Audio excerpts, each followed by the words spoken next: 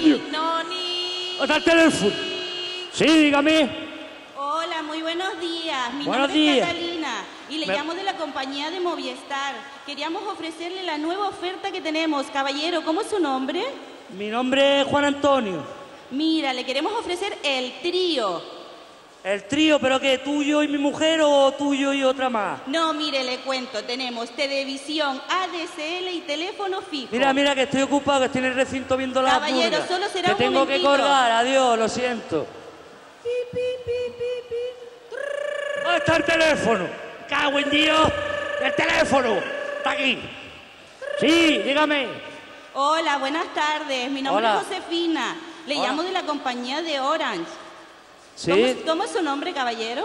Hola, mi nombre es Juan Antonio Rodríguez García.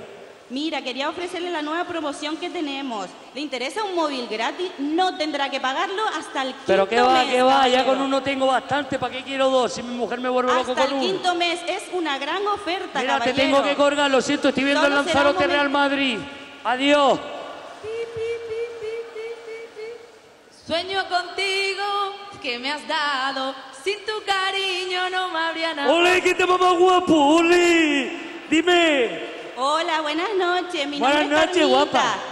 Hola. llamo de la compañía de Vodafone. ¿Hablo con el señor de la casa?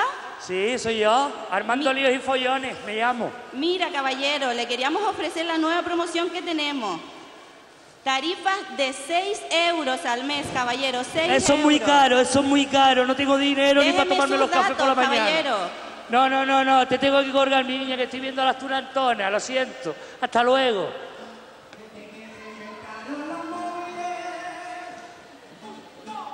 Desde que se inventaron los